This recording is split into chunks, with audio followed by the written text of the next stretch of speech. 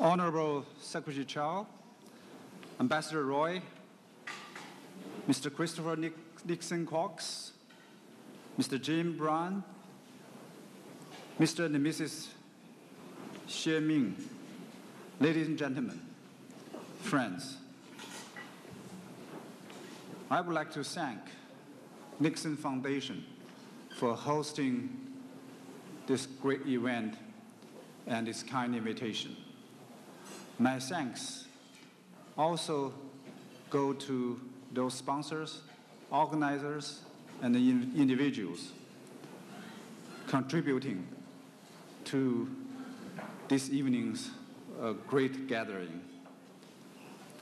It is my great pleasure to join you here at the library named after President Richard Nixon in his hometown to commemorate his historical visit to China and the subsequent issuance of Shanghai Communique 50 years ago. I wish to pay high tribute to President Nixon and the elder generation of Chinese and American leaders who made extraordinary contribution to the establishment and the development of China-US relations. Among them were Chairman Mao Zedong and the Premier Zhou Enlai, whose statues are in display right in this museum. I also extend sincere appreciation to Dr. Kissinger, the family of President Nixon, and all those who have been supporting and promoting the growth of China US relations. The week of February 21st to 28th, 1972, Oh, yeah. would always be etched in the sure if the annals of though. history with the idea that we came in peace for all mankind. President Nixon visited China, a trip he considered as sacred and lofty as the moon landing of mankind.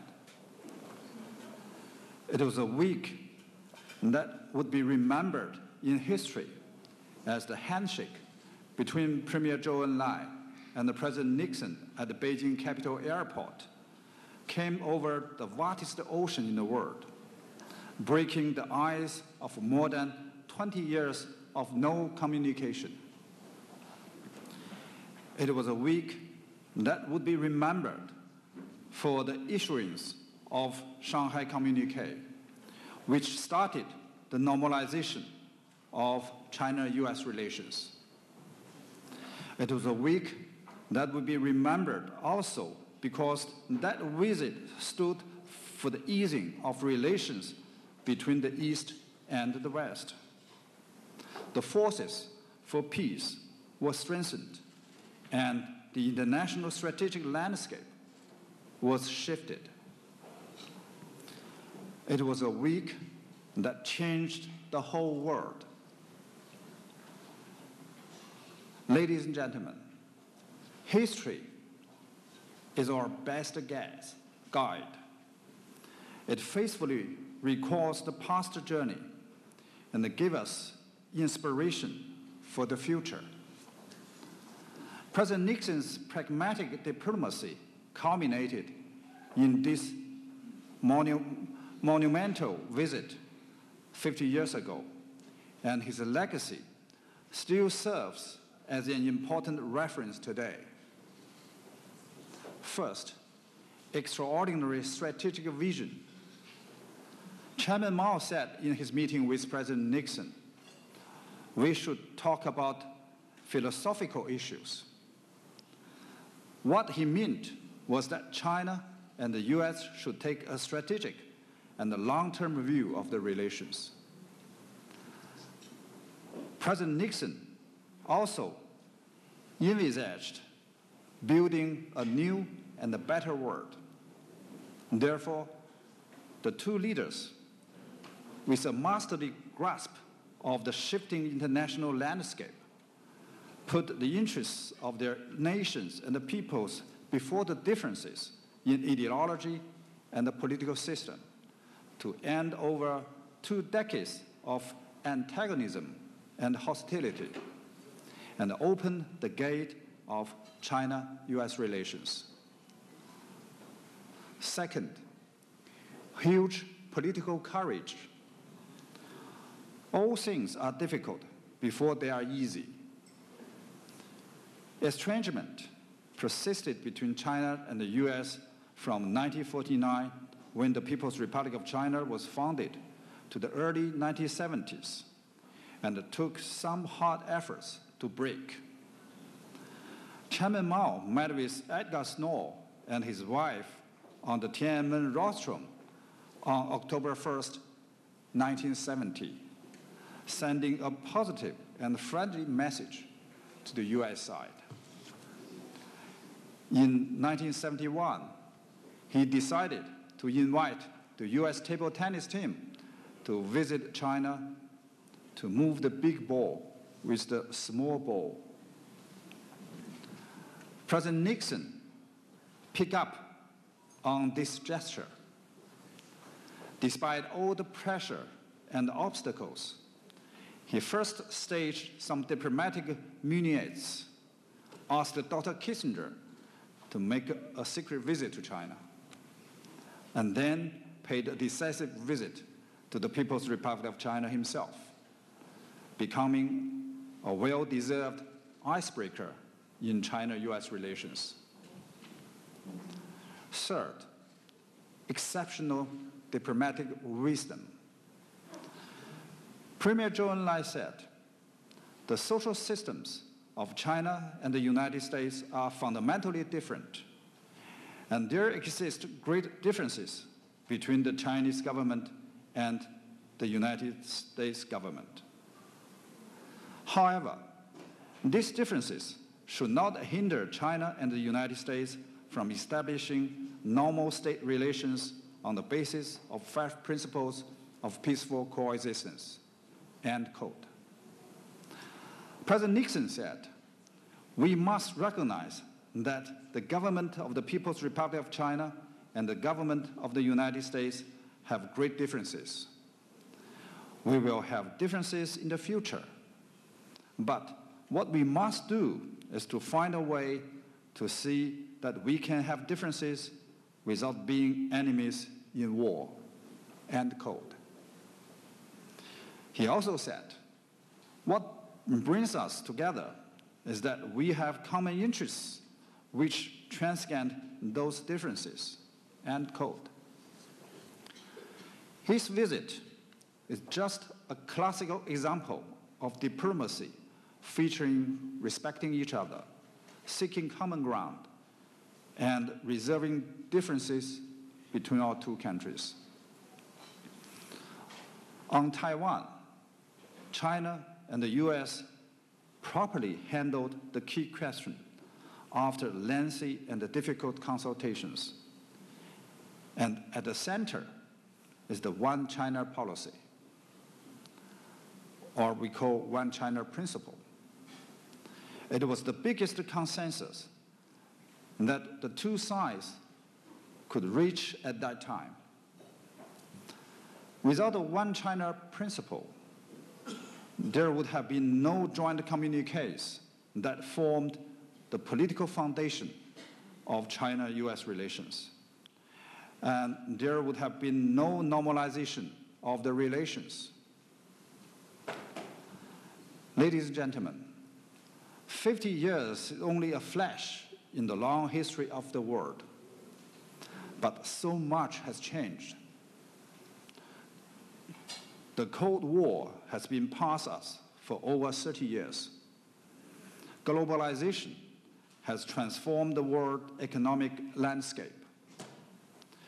The internet and the other new technologies have made our planet a global village. At the same time, COVID-19 has made us clearly aware that people in the world share view and wall together. The China US relationship has also undergone tremendous changes.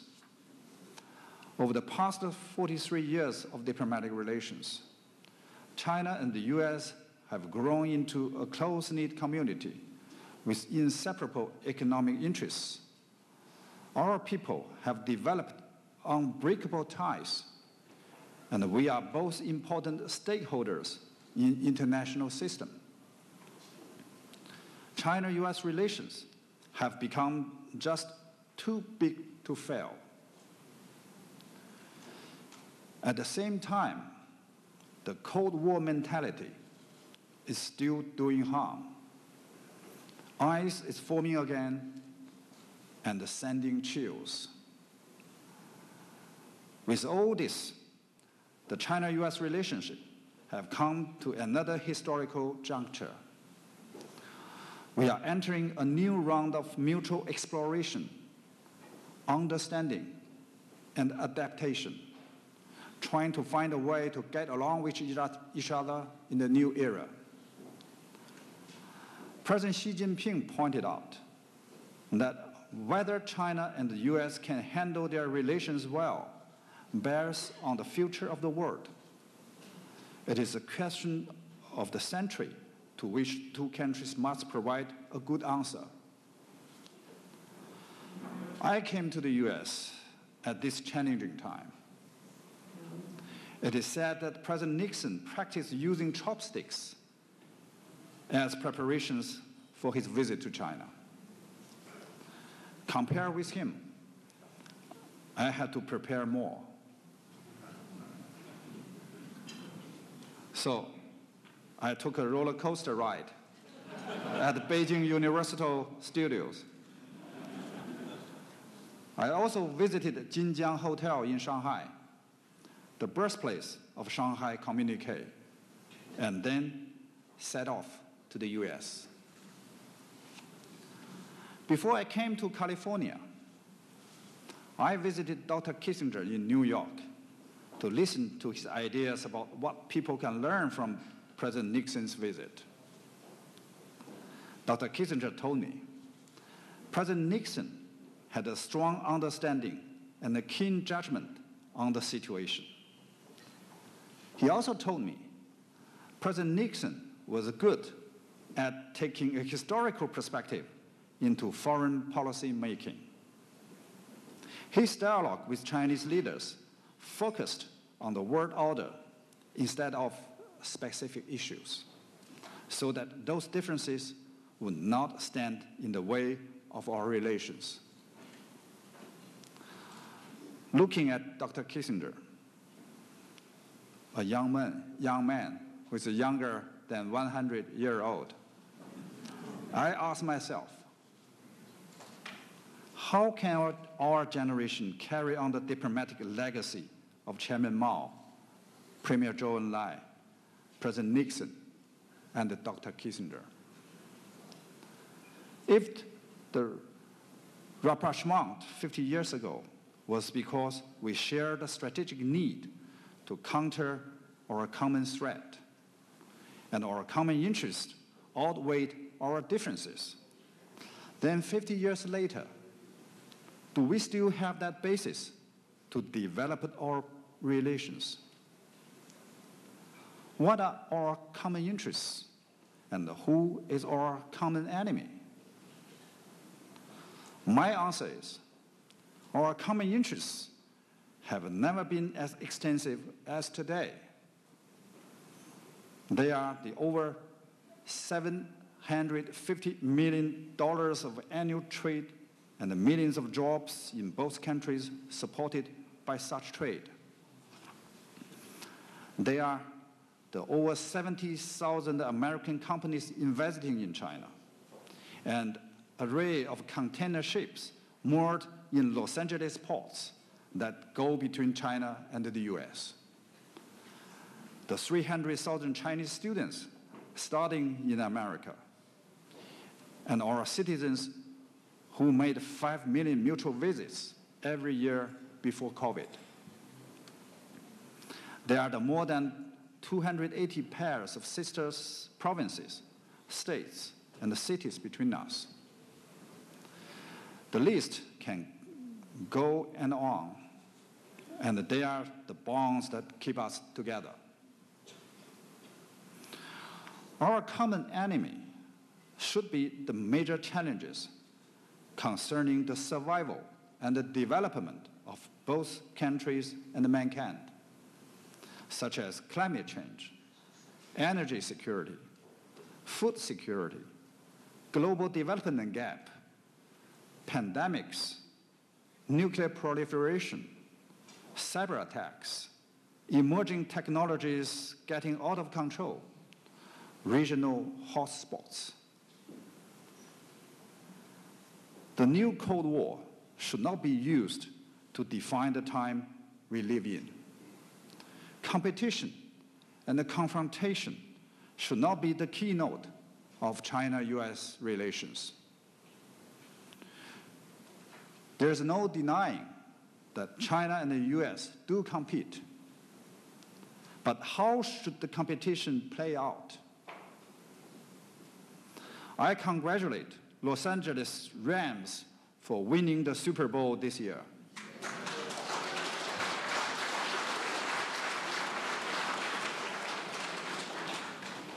But China US relations should not be like the intensely confrontational American football match.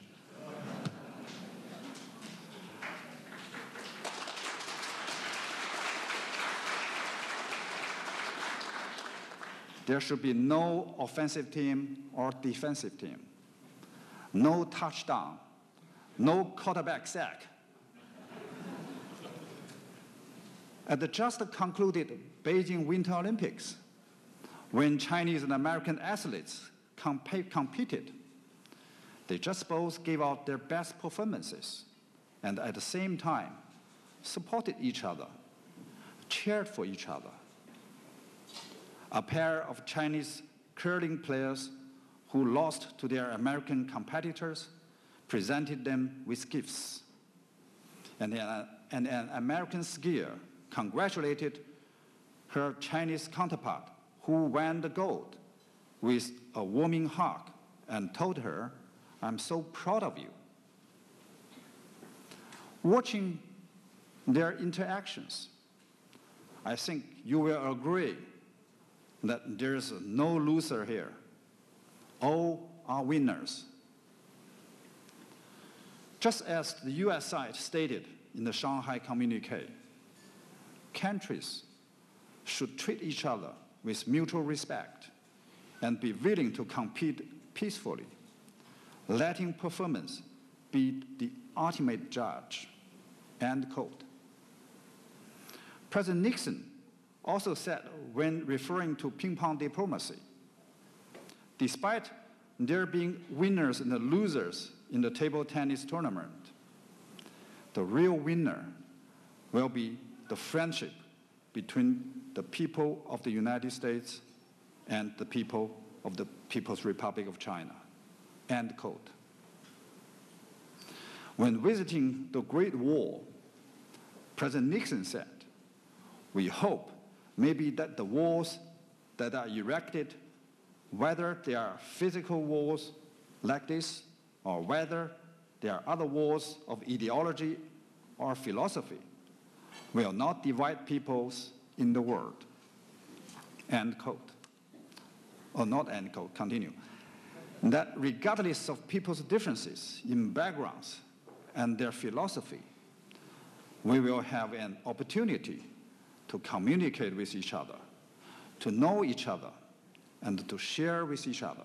End quote. As the world's two largest economies and two permanent members of the UN Security Council, it is simply impossible for China and the US to stay in confrontation, hostility, or estrangement because any of this will cause unbearable damage to both countries and the world. There must be rules for competition.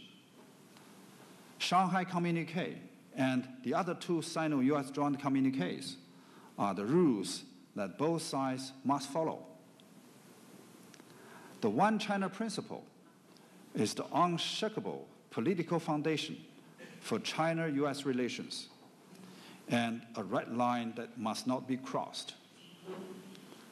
To realize China's complete reunification is a common aspiration and the strong will of the entire Chinese people.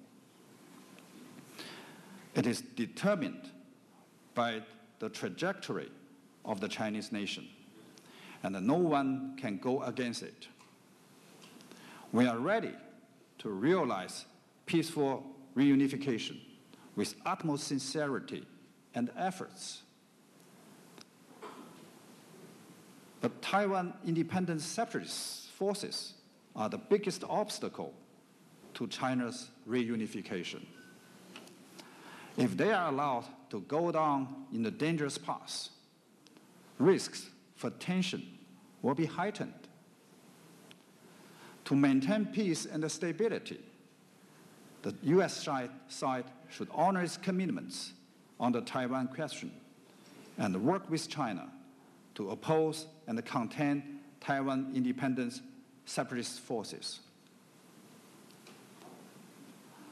As two countries with different history, culture, social system, and the way and the development stage, it is normal for China and the US to differ. But just as President Nixon said, what we must do is to find a way to see that we can have differences without being enemies in war. Communication and the dialogue is a wise choice to resolve differences, a correct way to establish mutual trust, and an effective means to reduce misjudgment. At the same time, our two sides should manage differences in a rational and a constructive way and not create problems or enlarge differences. Still less should we let China-US relations get out of control or off track. Ladies and gentlemen, President Xi Jinping pointed out that China and the US must respect each other, coexist peacefully, and pursue win-win cooperation. This is a guideline developed with historical wisdom and directing the future path. Let's work together to take the China-US relationship back to the right track as soon as possible so as to deliver great benefits to the people of our two countries and to meet expectations of the world. Ladies and gentlemen, 50 years ago, when President Nixon departed for his visit to China, he said to people who saw him off on the White House South Lawn, if we can make progress toward that goal on this trip, the world will be a much safer world, and the chance, particularly for all of those young children over there, to grow up in the world of peace will be infinitely, infinitely greater. End quote. The American boys and girls present on the South Lawn were only five or six year old, just as I was back then. There was a song popular in my childhood years called Sequoia. It extols the growth of California redwood, which was the gifts of President Nixon to China and the symbol of China-US friendship, from saplings to towering trees. I'm lucky to live through China's reform and opening up and the development of China-US ties in the following five decades, and to serve as the 11th Chinese ambassador to the US. I'm wondering about those boys and girls from 50 years ago. How are they today? I do hope to have a chance to meet them and their children, share with each other our perspectives of the 50 years of China-US relationship and its impact on each of us, and look to its significance for the younger generation. Last but not least, please join me in raising your glasses of Moutai or Schramsberg to the 50th anniversary of President Nixon's visit to China, to the 50th anniversary of the issuance of Shanghai Communique, to the health of Dr. Kissinger and all of you present, and to the lasting peace and the prosperity of our future generations. Bottom up, Ganbei. You must Ganbei because Moutai is very expensive now. Thank you. Cheers.